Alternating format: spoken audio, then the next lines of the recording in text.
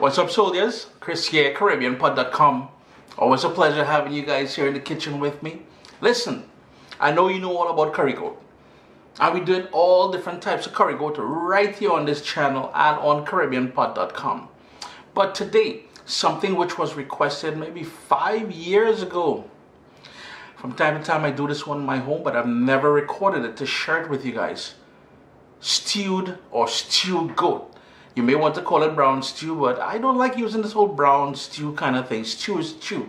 Now, if you're from North America, from Europe, from wherever, and you're accustomed to a certain type of stew, this is not that. This is an island style stew goat with banging flavors. Check it out. You're gonna, hey, you're gonna love this one. I'm telling you. And as with the majority of Caribbean recipes, especially meats, fish, seafood, and all that, we've got to marinate it. So we've got that goat in there. It's been cut into one and a half inch pieces. It's been washed with the juice of lime and lemon and water. I've rinsed it. It's dry. Cut off as much of the fat as you, as you can. Uh, there are bones in there. I'm going in with salt. Now here's the thing. I remember about four years ago when I reached out to a friend of mine on Instagram and we were talking about stewed goat and cooking goat in general. He always liked adding the salt at the end because his take is the salt will toughen the goat. I have found that to be a little bit misleading, but it is just my take. If you want to salt it later on, you can certainly do that. So we've got salt in there. Let's go in with some fresh ground black pepper. You know, the last time I showed this electric pepper grinder on here, somebody had an issue with it. Why am I so lazy? Well, do you use a food processor? Hmm. Do you use a blender? Hmm.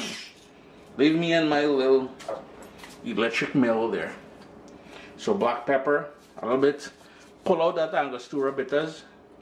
A few drops in there. We're making stew after all. That will be delightful in there. We need a little Worcestershire. So go in with some of that Worcestershire. Yeah, I use quite a bit of that, so that's why I have such a big bottle. It's time now for one of the key ingredients in, any sort of Caribbean food. I notice I've had this in the fridge on a high temperature there. So this is my Caribbean green seasoning. Two heaping tablespoons of that. And I do mine in olive oil if you notice the oil on the top there. And what it does, you notice the vibrancy and the color. And if you were here, you would be able to smell. Let me talk a little close up. That uh, the herbs and garlic and peppers and everything which makes up a good Caribbean seasoning. Don't use water anymore. Don't use vinegar. Use olive oil and the thing remains good in the fridge for months. So we've got the Caribbean green seasoning and if you're looking for that recipe you can find it on CaribbeanPot.com. I am fresh out of Scotch bonnet peppers so I've got my homemade pepper sauce and we've got maybe I think the number is up to about 15 different recipes for making this now on CaribbeanPot.com so about half a tablespoon of that Caribbean pepper sauce, any hot sauce you like. If you have um, fresh Scotch bonnet pepper, you can put Scotch bonnet, habanero, any sort of spicy pepper that you like, you can put in there. We're to go in with one small onion. And if you want to put a large onion in there, you know, this is one of those things, something you like, you add more of. Something you don't like, you hold off, or you just add a little bit off. You know, like when I'm cooking um, Caribbean Chinese food, I don't like sesame oil, so I don't like it. Um, these are called pimento peppers or seasoning peppers. It'd probably be difficult for you guys to source it, but if you can source it, it adds a lovely flavor to any sort of meat or fish or seafood or anything. And again, guys, this is going to be one of them long recipes because I'm trying my best to explain everything as best as I could to you guys. So three of those. These are just the tiny green ones. And these are fresh out of my garden. We need a tomato. I'm just going to cut off the top stem area. That's going to go into the rubbish. And just give that tomato a rough chop, like so. All we'll need next is a tiny bit, maybe about a tablespoon of ketchup. Because the acidity from that ketchup, as well as this tomato, yo, if you haven't done it yet, please do so. You're going to love it in there. We've got that tomato ketchup going in there. That's about a tablespoon or so. And all you would do now is give that a good mix. You will also find, along with that salt that I talked about there, getting the goat tough from the start. Some people don't like washing their goat with um, with lemon juice or, or lime juice as I did. They like washing it with flour and water because they say the, um, the acid in that um, citrus toughens up the meat. So typically what I would recommend doing here now is allow this to marinate overnight. Best flavor. We're going to jump right away and start cooking this because this is going to slowly braise. Goat can be tough depending on how old the animal is and everything. You know, it's a guessing game. But for now, cover that up, put it in the fridge, allow it to marinate. But we're going to get cooking. We're going to get cooking right away, man. In my big heavy pot here, I've got a tablespoon and a quarter, about a tablespoon and a half of olive oil. And to that, I'm going to go in with about a tablespoon and a half of golden brown sugar. And I keep saying this every time we do a, a sort of a Caribbean stew recipe. A lot of you've never had this technique, it's more of a technique than anything else, of stewing with brown sugar, you would think the dish will be sweet. I guarantee you there is nothing sweet about this. What's going to happen here? And let's talk about that for a second. High heat, that is going to melt. That sugar is going to melt down. It's going to go frothy, then it's going to start taking on some color just before it goes black. It's very important. Before it goes black, and you'll keep seeing me do this here, you want to add the seasoned meat today. If it goes black, shut everything down, allow it to cool down, wash the pan, and start over. Allow it to cool down though.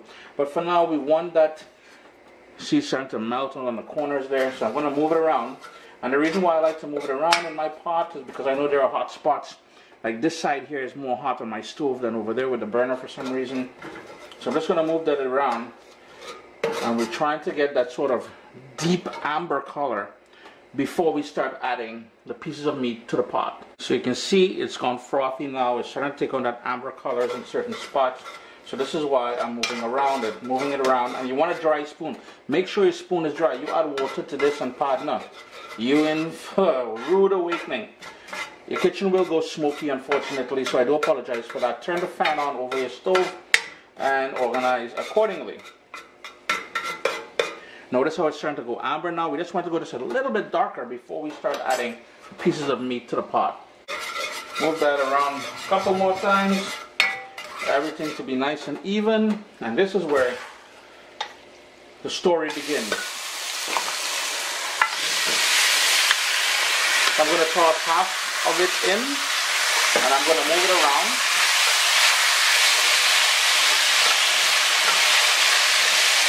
And I'm going to go in with the other half. Scrape everything into the pot.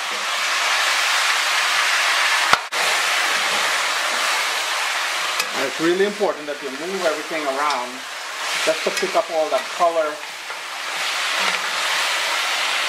and to coat the pieces of goat with that browning on the bottom there. Now what I'm going to do at this point, after I've stirred it up quite a bit, I'm going to turn my heat down to medium high. It was on high all the while. And I'm to put the lid on there and let that start to come up to a boil. Five minutes later. and there will be a lot of natural juices which have sprung up there. So we're to give that a stir. And notice all that liquid there? I didn't add any liquid to that. Look at that. Give that a good stir. We're to put the lid back on and let that go for about 10 to 15 minutes. Because the whole idea is to intensify the flavor here. So by, by cooking it down in its own juices, we're going to achieve that. And we're going to burn off all that liquid. But, you know, put the lid back on, 10 minutes, boom, bam. And to intensify the flavor. After all, this is the ultimate stew goat. What we're going to do at this point now, it's been 12 minutes with that lid on. I'm uh, on medium high heat. I'm going right back up to high. We're going to burn off all of that liquid down on the bottom there. That soup, we're getting rid of that. And that's going to intensify the flavor and the color. And then we're going to go in with the other ingredients to slowly braise this until it's fork tender, falling off the bones. Mama yo.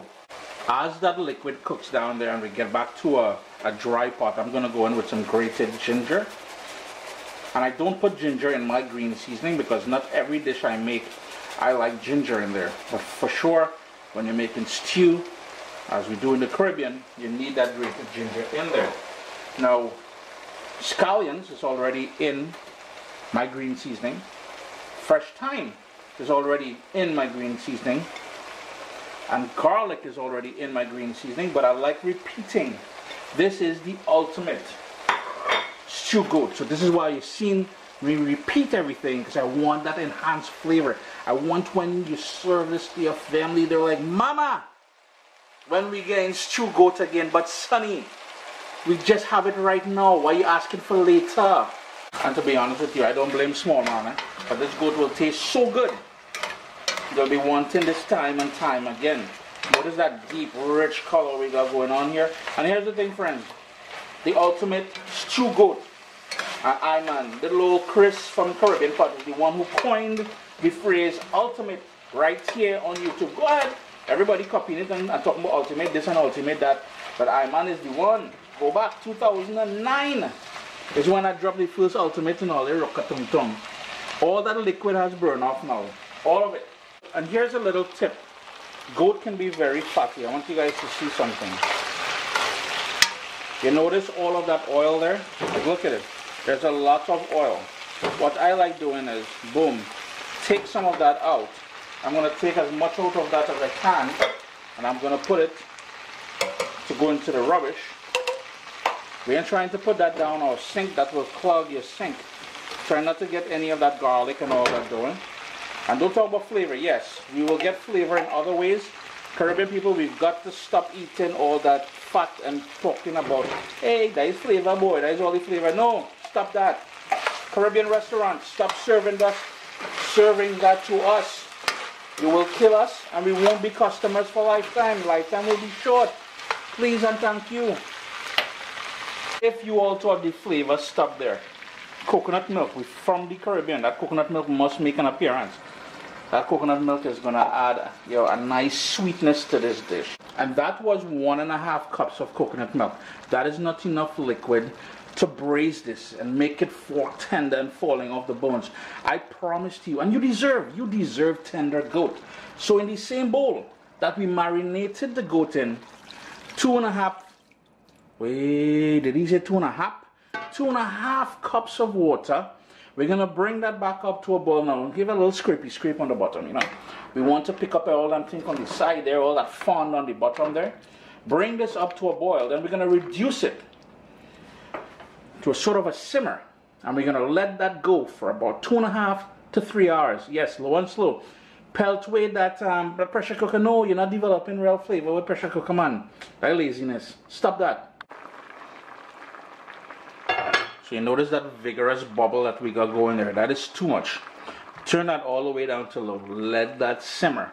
We want that to simmer every 20 minutes or so. Come in, hit it to stir, and then there's just be a niceness happening up in there. Just look at that rich gravy already. Hey, the color alone, boy. And then remember all that garlic and ginger and everything we added. Additionally, remember all those things were already in the green seasoning. It was already in the marinade. But low and slow now. On slightly ajar, so maybe quarter of a centimeter space there. Things to breathe. It has to breathe. Everything like to breathe. All right. It's been going for about two and a half hours on that low simmer. Notice all that liquid has gone down. Two and a half hours later on that simmer. Notice all that water has reduced. We got a lovely gravy. Just look at a nice thick gravy there. I remember the residual heat will also help thicken up that gravy some more, some personalizations. If the goat is still tough, take a piece out, sample it. If it's still tough, add some more water, another cup of water in there, and let it go for another hour or so. Remember, the key here is nice tender pieces of goat.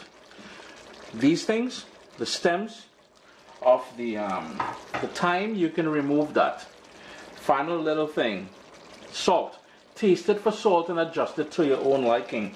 Um, at the end of the day, it has to, be, you know, you're the one eating it, your family are the one eating it. I like to go in with some parsley that's straight out of my garden. And we're going to give that a mix. That's just going to brighten up everything. Chris here, CaribbeanPot.com. the ultimate stewed goat or stewed goat. You really want to give this one a try. Now remember, um, we grated that ginger in there because we don't want people getting a surprise. Well, it's their thing, a big piece of ginger. They like that, they like that, but I man don't. Let me turn the stove off because I need some gravy for that rice.